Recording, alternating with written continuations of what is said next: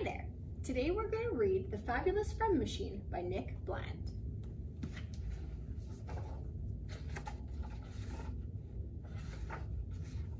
Popcorn was, quite simply, the friendliest chicken at Fiddlestick Farm.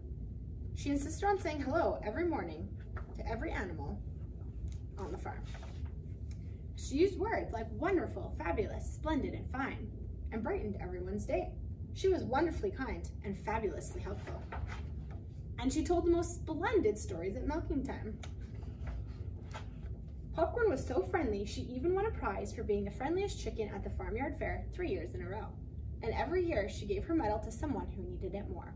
Popcorn was, quite simply, the friendliest chicken at Fiddlestick Farm.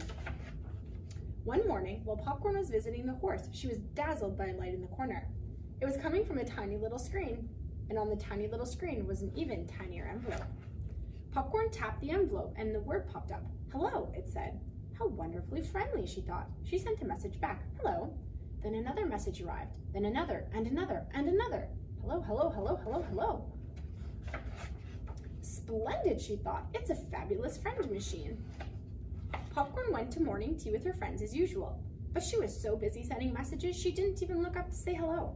The cow found her no fun at all at milking time, and she almost got run over crossing the road. Hello, hello, hello, hello. The more messages Popcorn sent, the more she received, all day and all night.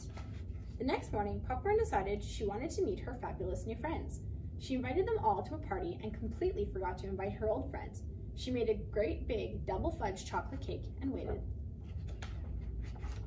When but when Popcorn's new friends arrived, they weren't fabulous at all. They were wolves, and they didn't want to eat double ch fudge chocolate cake. They wanted to eat chicken. Lucky for Popcorn, her fabulous old friends came up with a brilliant plan to save her, and they arrived just in time. Grrr. The wolves ran back to the forest, and they took the friend machine with them. Popcorn thanked her friends, and the not-so-fabulous friend machine was never spoken again of again at Fiddlestick Farms. Well, almost never. The end.